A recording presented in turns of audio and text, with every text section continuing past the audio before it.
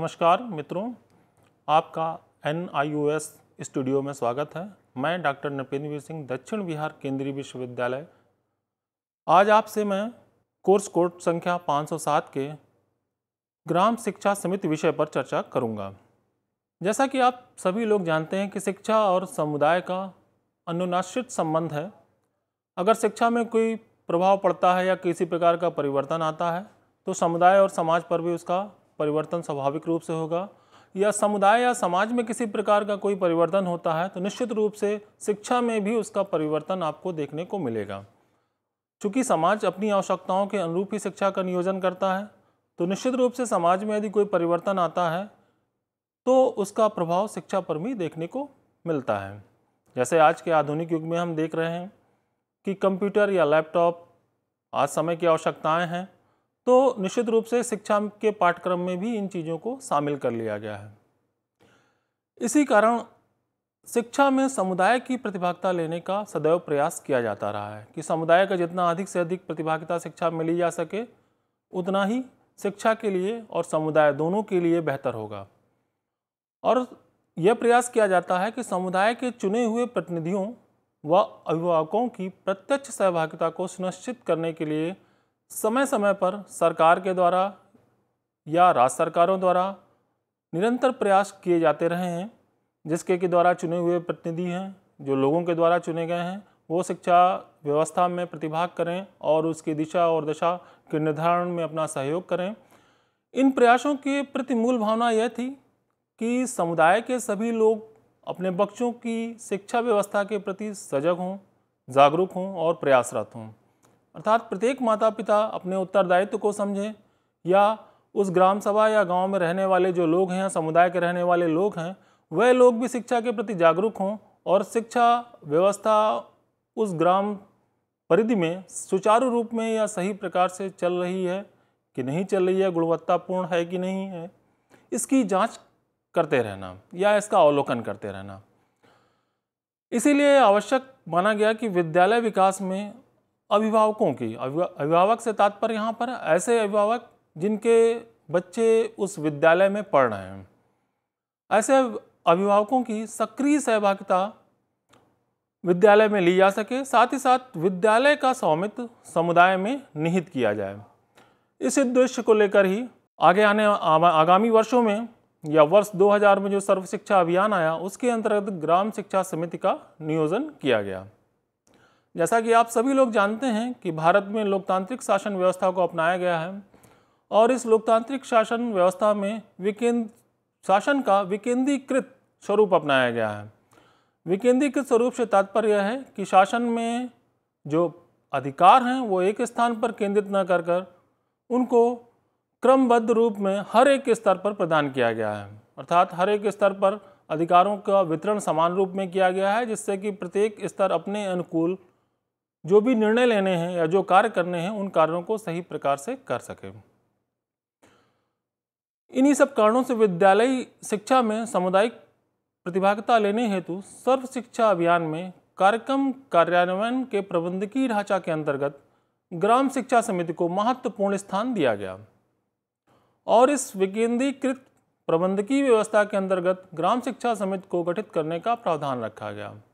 इस प्रावधान के अनुसार प्रत्येक ग्राम सभा में एक ग्राम समिति को गठित किया जाएगा, जो ग्राम की बेसिक शिक्षा के प्रशासन, नियंत्रण एवं प्रबंधन का कार्य करेगी। ग्राम शिक्षा समिति, यह एक नया संप्रत्यय है।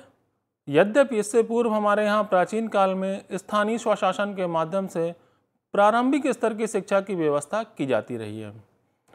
जैसा कि आप सभी लोग जानते हैं कि वैदिक काल से लेकर ब्रिटिश काल तक हमारे यहाँ शिक्षा किसी न किसी रूप में चलती रही है, चाहे वह व्यक्तिगत प्रयासों के रूप में चलती रही हो या संस्थागत प्रयास के रूप में चलती रही हो। इन सारे प्रयासों द्वारा कहीं न कहीं ये प्रयास किया जाता रहा कि शिक्षा, प्रारंभिक शिक्षा सुचारू रूप में दी जाए। इसीलिए हंटर कमीशन अट्ठारह में ये सुझाव दिया था कि प्रारंभिक शिक्षा या प्राथमिक शिक्षा का उत्तरदायित्व पूर्ण रूप से स्थानीय शासन को दे दिया जाए। मतलब स्थानीय स्तर पर जो शासन व्यवस्था है उस पर ही यह उत्तरदायित्व दे दिया जाए कि प्रारंभिक शिक्षा की पूर्ण व्यवस्था उनके द्वारा नियंत्रण एवं प्रशासन एवं प्रबंधन किया जाए। लेकिन ये व्यवस्थाएँ अपने देश में पूर्ण रूप में लागू नहीं हो पाई। बहुत सारे इसके लिए प्रयास किए गए, लेकिन ये लागू नहीं हो सके, जिसके कारण एजुकेशन फॉर ऑल सभी के लिए शिक्षा की व्यवस्था के अंतर्गत वर्ष 2000 में लाया गया सर्व शिक्षा अभियान के अंतर्गत इस प्रावधान को विशेष रूप से रखा गया कि समुदाय की अधिक से अधिक प्रतिभागिता शिक्षा व्यवस्था में ली जा सके, विशेष रूप से प्राथमिक शिक्षा में। इसीलिए ग्राम शिक्षा समिति के निर्माण का सुझाव दिया गया। और आज आप देख सकते हैं कि लगभग प्रत्येक गाँव में ग्राम शिक्षा समितियों का निर्माण किया जा रहा है। हो सकता है कि ग्राम शिक्षा समितियाँ उतने अच्छी प्रकार से कार्य ना कर रही हों, लेकिन प्रत्येक गाँव में ग्राम शिक्षा समिति आपको मिलेगी, जिसमें से कुछ शिक्षा समितियाँ ऐसी हैं जिनके कार्यों को अक्सर आप समाचार पत्रों में पढ़ने को आपको मिलता रहता होगा। इस ग्राम शिक्षा समिति का जो संगठन या गठन जो होगा वह किस प्रकार का होगा? इसका जो गठन बताया गया है, इसके लिए कहा गया कि एक इसमें अध्यक्ष होगा, एक सचिव और तीन सदस्य। अध्यक्ष कौन व्यक्ति बन सकता है? इसका निर्धारण किया गया कि जो ग्राम सभा का प्रधान होगा या ग्राम पंचायत का जो प्रमुख होगा, वही, वह व्यक्ति ही इस समिति का अध्यक्ष होगा।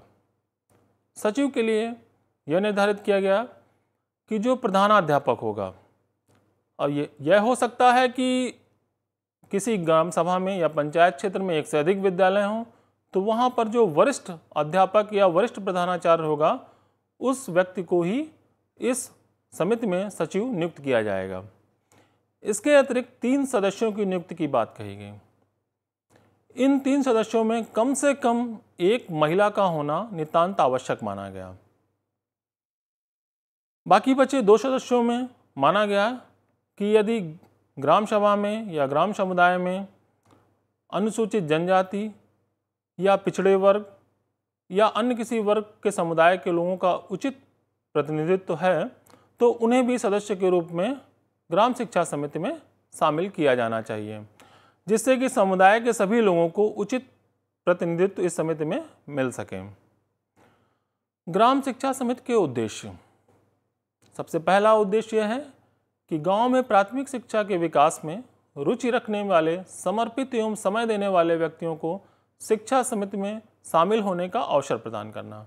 अर्थात ऐसे व्यक्तियों का शिक्षा समिति में चयन किया जाए या नियुक्त किया जाए, जो व्यक्ति वास्तविक रूप में शिक्षा के प्रति रुचि रखते हों, उसके विकास में सहयोग प्रदान कर सकते हों, उसके लिए समर्पण की भावना रखते हों, और उसके लिए समय देने को तैयार हों। चूँकि जब तक रुचि वाला व्यक्ति नहीं इस समिति में आएगा, तब तक हो सकता है कि वह समिति सही प्रकार से कार्य ना कर सके। इसलिए विशेष रूप से ध्यान रखा गया कि इसमें रुचि और समर्पण की भावना रखने वाले व्यक्तियों को ही इस समिति के अंतर्गत रखा जाए। दूसरा उद्देश्य विद्यालय या विद्यालयों में विद्यार्थियों के शत प्रतिशत नामांकन, ठहराव एवं उपलब्धि स्तर को अनवरत बनाए रखना। अर्थात विद्यालय में जितने विद्यार्थी नामांकित हो रहे हैं, उनका पूर्ण रूप से नामांकन हो, अर्थात गाँव में कोई ऐसा बच्चा ना रह जाए या ग्राम सभा में जो बच्चा विद्यालय ना जा रहा हो, उनका विद्यालय में नामांकन कराया जाए। मतलब गाँव के सभी बच्चों का नामांकन विद्यालय में हो। साथ ही साथ ठहराव हो। ठहराव से तात्पर्य है कि यदि प्राथमिक विद्यालय है, कक्षा एक से पाँच तक है, या उच्च प्राथमिक विद्यालय कक्षा छः से आठ तक का है तो उस विद्यालय में बच्चा अपनी पूर्ण शिक्षा को, अपनी शिक्षा को पूर्ण करें। ऐसा ना हो कि शिक्षा बीच में ही छोड़कर चला जाए किसी कारणवश। तो यह भी उत्तरदायित्व है कि ये ध्यान रखना कि बच्चा यदि कक्षा एक में प्रवेश करता है तो कक्षा पाँच तक की शिक्षा पूर्ण करें। कक्षा छः में प्रवेश करता है तो कक्षा आठ तक की शिक्षा पूर्ण करें। साथ ही साथ उपलब्ध स्तर को अनवरत बनाए रखना, अर्थात विद्यार्थियों का जो भी उपलब्ध स्तर है, हर प्रत्येक वर्ष यह ध्यान देना कि उनके उपलब्ध स्तर में वृद्धि हो रही है कि नहीं हो रही, या कम से कम अपने स्तर को वो बनाए रख रहे हैं कि नहीं। उनमें किसी प्रकार की गिरावट ना आने पाए। यदि गिरावट आए तो उसके लिए जो भी संभावित समाधान या उपाय हों उनको अपनाए जाने की आवश्यकता बन जाती है। अगला उद्देश्य विद्यालय या विद्यालयों में गुणवत्तापूर्ण शिक्षा का प्रबंधन करना। अर्थात विद्यालयों में जो शिक्षा व्यवस्था नियोजित की गई, वह नियोजन इस प्रकार का हो कि विद्यार्थियों के लिए लाभकारी हो, गुणवत्तापूर्ण हो। गुणवत्तापूर्ण से तात्पर्य है, यह है कि बच्चे कम से कम प्रत्येक कक्षा स्तर के जो भी न्यूनतम अधिगम स्तर है, उस स्तर को प्राप्त करें। तभी माना जाएगा कि गुणवत्तापूर्ण शिक्षा उस विद्यालय में प्रदान की जा रही हैं और साथ ही साथ उनके उपलब्ध स्तर में वृद्धि होती रहे। विद्यालय के संचालन में राज्य सरकार के दिशा निर्देशों के अनुपालना का अवलोकन करना, अर्थात राज्य सरकार के समय समय पर जो भी आदेश आते हैं या जो दिशा निर्देश प्रदान किए जाते हैं, विद्यालय में उन दिशा निर्देशों या उन नियमों या उन आदेशों का पालन सही प्रकार से हो रहा है या नहीं हो रहा, यह भी जाँच करते रहना, अवलोकन करते रहना। अगला उद्देश्य है समुदाय के वंचित वर्गों, यथा महिला, अनुसूचित जाति, अनुसूचित जनजाति आदि को समुचित प्रतिनिधित्व देकर विद्यालय समाज से जोड़ना है। जैसा कि मैंने पहले भी आपसे चर्चा अभी कुछ देर पहले की थी कि विद्यालय में एक यह भी उत्तरदायित्व माना गया है इस सर्वशिक्षा अभियान के अंतर्गत कि लैंगिक विषमताएँ या जो सामाजिक विषमताएँ हैं, उनको भी समाज से दूर किया जाए। इस कारण यह ध्यान रखने की आवश्यकता है, इसमें बताई गई कि समिति में हर एक वर्ग का उचित प्रतिनिधित्व समिति में दिया जाना चाहिए। ग्राम शिक्षा समिति के कार्य एवं दायित्व। ग्राम सभा या पंचायत क्षेत्र में बेसिक विद्यालयों की स्थापना करना, प्रशासन, नियंत्रण एवं प्रबंधन करना। बेसिक विद्यालयों से तात्पर्य है प्राथमिक स्तर के और उच्च प्राथमिक स्तर तक के विद्यालयों की स्थापना करना। जिस ग्राम में जिस प्रकार की आवश्यकता है। यदि विद्यालय पहले से वहाँ पर स्थापित हैं तो वह विद्यालय सुचारू रूप में चल रहे हैं कि नहीं चल रहे हैं? या उनमें किसी प्रकार के किसी प्रबंधन की आवश्यकता है तो उनमें सहयोग प्रदान करना और साथ ही साथ उनके प्रशासन में सहयोग प्रदान करना।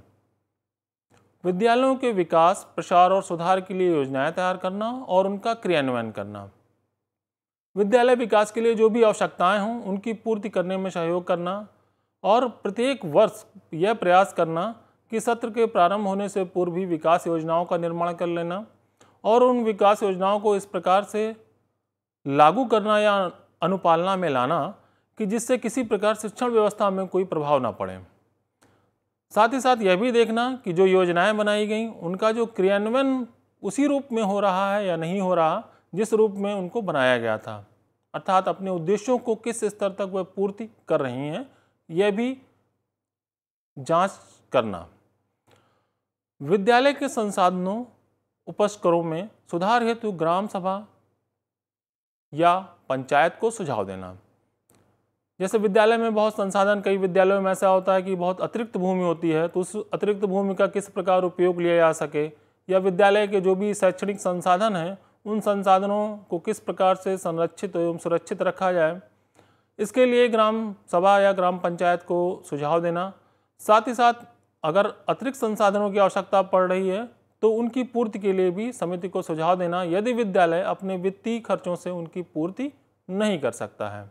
अगला कार्य है विद्यालय के दैनिक कार्यों के अनुपालन में सहयोग प्रदान करना। विद्यालय के जो भी दैनिक कार्य हैं, जैसे वहाँ पे शिक्षण कार्य होता है, मिड डे मील है, या खेल कूद का आयोजन किया जाता है, इस प्रकार के कार्यों में यदि किसी प्रकार के सहयोग की आवश्यकता हो तो उनमें सहयोग प्रदान करना समिति के माध्यम से कुछ व्यक्तियों को नियुक्त किया जा सकता है या समिति के लोग खुद भी सहयोग प्रदान कर सकते हैं। विद्यालय में शिक्षकों एवं कर्मचारियों की समय पालन एवं उपस्थिति को सुनिश्चित कराना। अक्सर यह देखा जाता है कि प्राथमिक स्तर के विद्यालयों में, ग्रामीण अंचलों में शिक्षक या कर्मचारी समय से नहीं जाते, बहुत सारे शिक्षक विद्यालय ही नहीं जाते। तो ये सारी चीज़ें ग्राम शिक्षा समिति का उत्तरदायित्व है।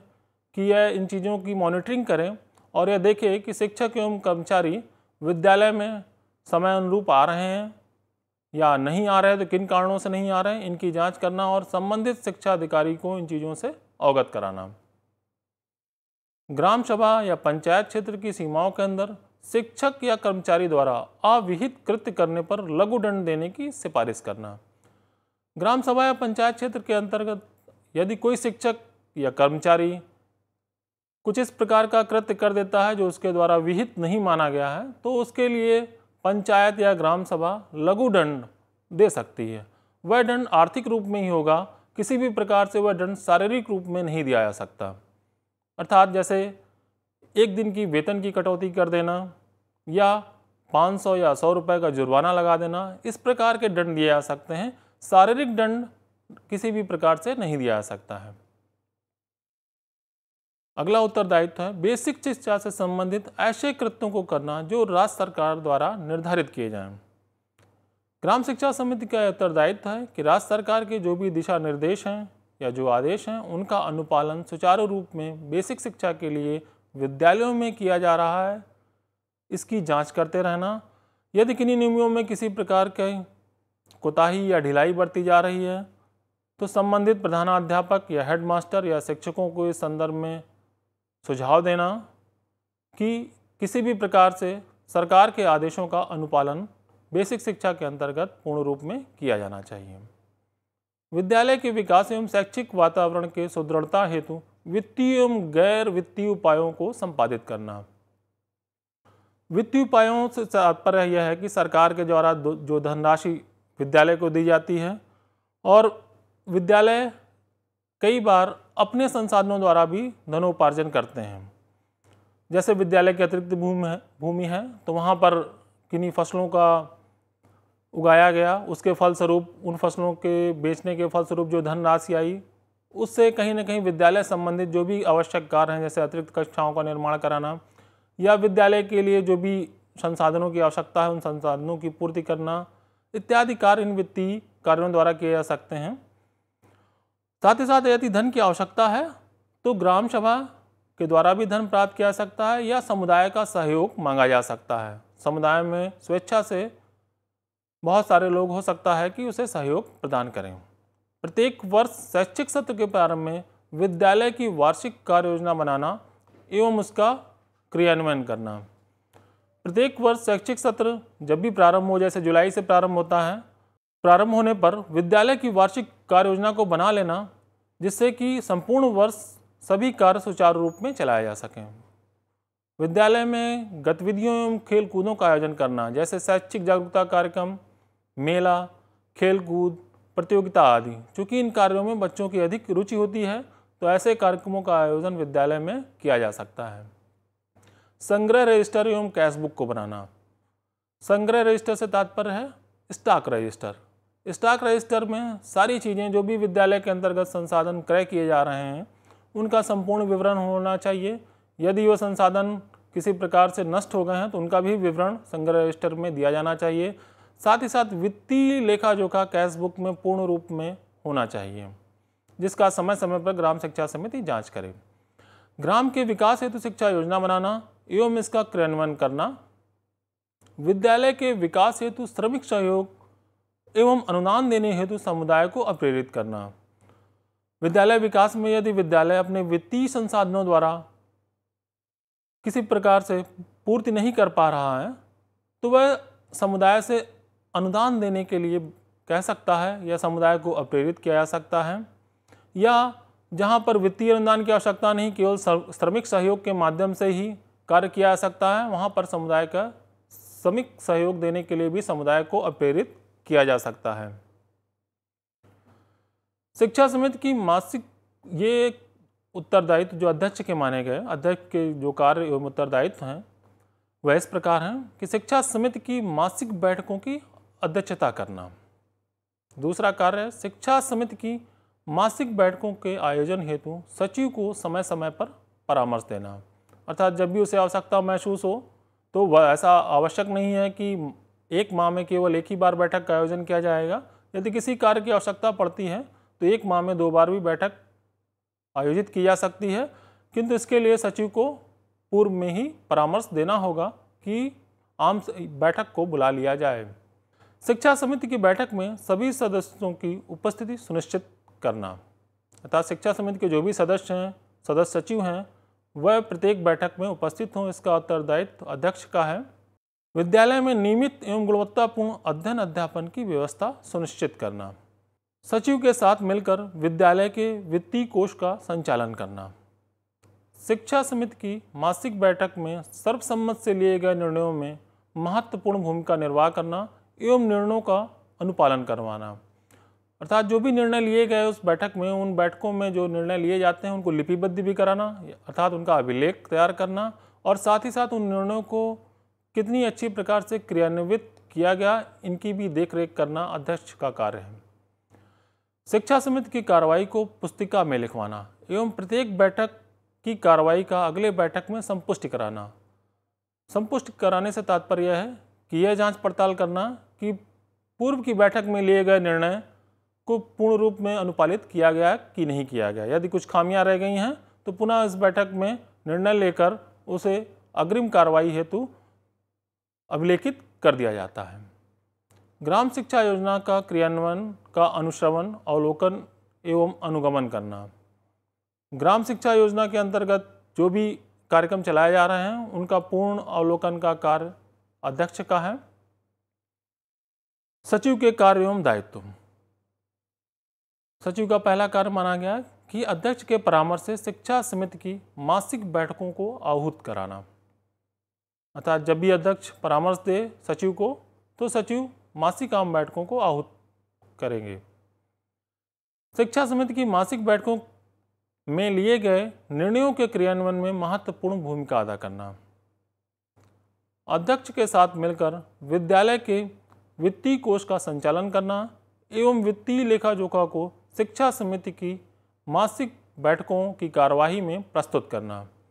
अर्थात जो भी वित्तीय खर्चे हैं या वित्तीय व्यय किए गए हैं, उन व्यय का पूर्ण विवरण, जैसा मैंने अभी कुछ देर पहले चर्चा की थी, कैश बुक जो होगी उसमें पूर्ण विवरण मिल जाएगा वर्ष भर का, वित्तीय व्यय का। उस विवरण को समिति के सम्मुख रखना, जिससे कि समिति के सारे लोग देख सकें कि किस मद में या किन किन मदों में कितना व्यय किया गया है, और वह सही प्रकार से या उचित रूप में किया गया है कि नहीं किया गया, इसकी भी जाँच पड़ताल समिति के द्वारा की जाती है।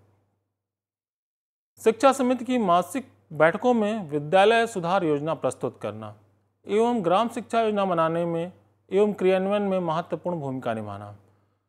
ग्राम शिक्षा समिति की जो भी बैठक हो, उस बैठक में विद्यालय सुधार योजना प्रस्तुत करने का उत्तरदायित्व तो सचिव का माना गया, चूँकि इसलिए सचिव का उत्तरदायित्व माना गया कि पूर्ण रूप से एवं प्रत्यक्ष रूप से शिक्षा से संबंधित व्यक्ति यहाँ पर सदस्य सचिव ही होता है।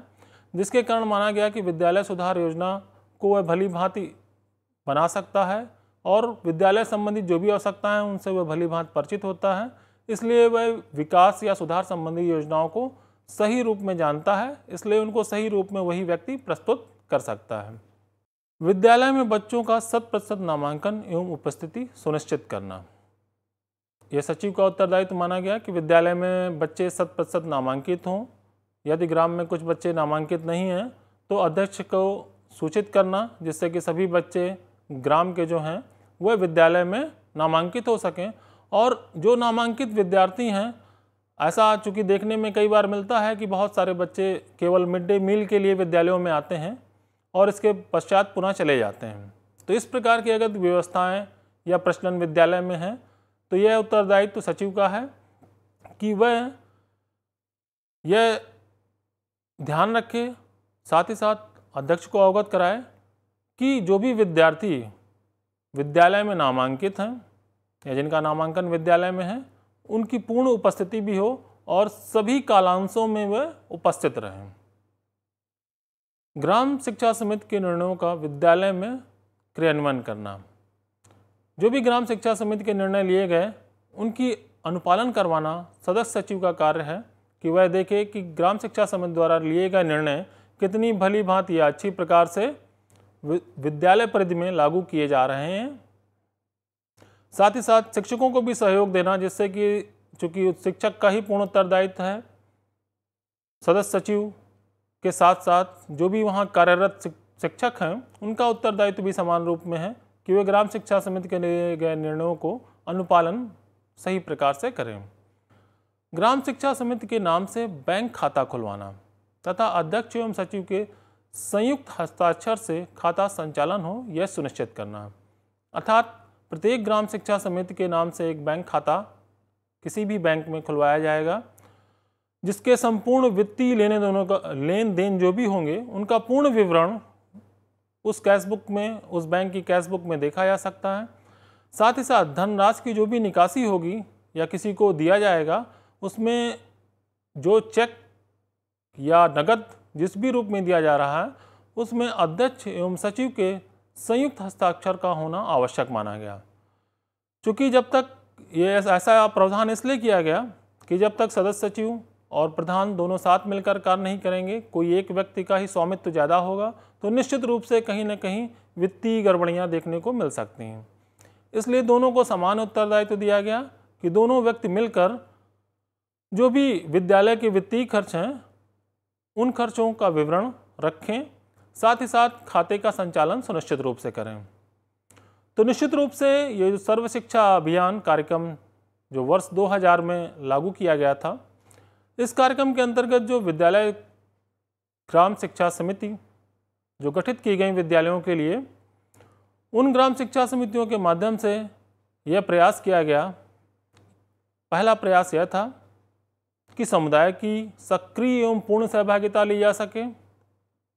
दूसरा प्रयास यह था कि ग्राम स्तर पर गुणवत्ता युक्त शिक्षा बच्चों को प्रदान किया जा सके।